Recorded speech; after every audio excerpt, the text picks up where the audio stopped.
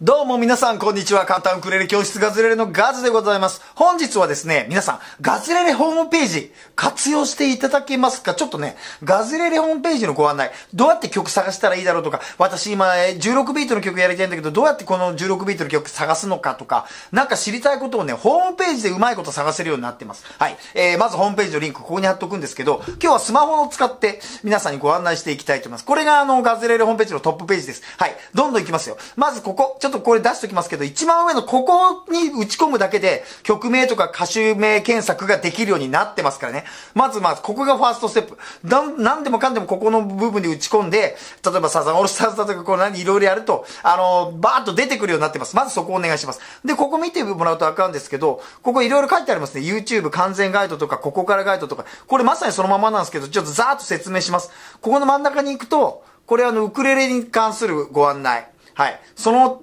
隣、その下はガズレシピ、アプリのご案内ですね。はい、その下、勝手にガズれるというあの練習会のグループのご案内とか、こうずるずるあります。で、ブログ、私毎日ブログ書いてます。このブログもね、すごく面白くて大好評なんでご覧いただきたいんですけど、下に行くと最新ニュースもありますんでね、あの、この辺のことでガズレレに関する最新情報はチェックしておいてください。これは皆さんご存知だと思うんですけど、あのね、日々使っていただきたい使い方として、どんどん YouTube に関するあのやつを言ってみると、まずここの、ここのところの右上のこの3つの棒のところを押しますと。そうするとですね、ここにバーっとあるんですけど、ここにもいろいろショップとか、えー、イベントのこととか、えー、ガズレレってなんだとか、ブログとか、こういう、まあ、大きな箱もあるんですけど、ひとまずこの YouTube 完全ガイドを押してみてください。はい、YouTube 完全ガイド押した。はい。そうすると下にずらっと書いてきましたね。で、ここをずーっと言ってもらうと全部こう書いてあるんですけど、まずひとまずは、そのまま、ガズレレ動画を探そうっていうところを押してもらいましょう。ガズレレ動画を探そう。今押しました。はい、こちらのページにやってまいりました。こちらのページが一応 YouTube に関する動画のね、えー、わかりやすいことになってるんですけど、くるくるくるって下の方にスクロールしていきます。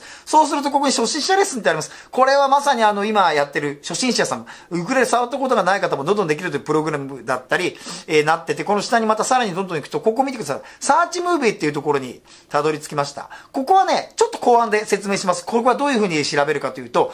8ビートの弾き方の曲探したいとか、そういう時にめちゃくちゃ便利です。後でこれ解説します。そのままちょっとひとまず下の方まで行ってもらうとですね、えーと、ここ、YouTube カテゴリーボックスっていうのが出てきます。ここ見てください。ここにだから15個ぐらいの赤いボックスがあるんですけど、ここで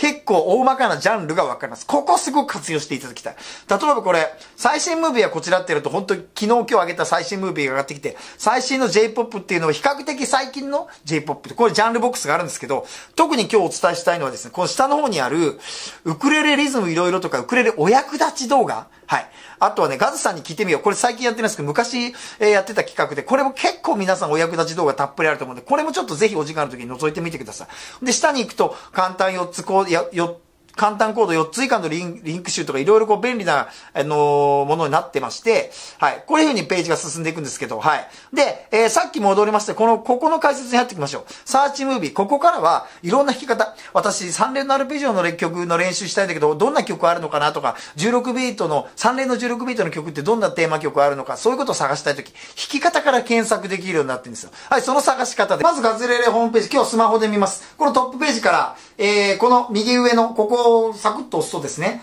ここに YouTube 完全ガイドって出てきます。この画面に出してきます。えー、ガズレレ動画を探そう。ここを押します。YouTube 完全ガイドの下にあるガズレレ動画を探そう。そうするとこちらのページに飛び、と、あの、到達します。これが完全ガイド。下の方にくるくるくるっと進んでください。そうすると、このサーチムービーってこの写真出てきます。サーチムービーお探しの動画、こちらから検索っていうところを見てくださいね。その下どんどん行くとですね、ここにここにね、使うテクニックから探すっていうのが出てきます。使うテクニックから探す、詳しく探すってところを押しますと、ここに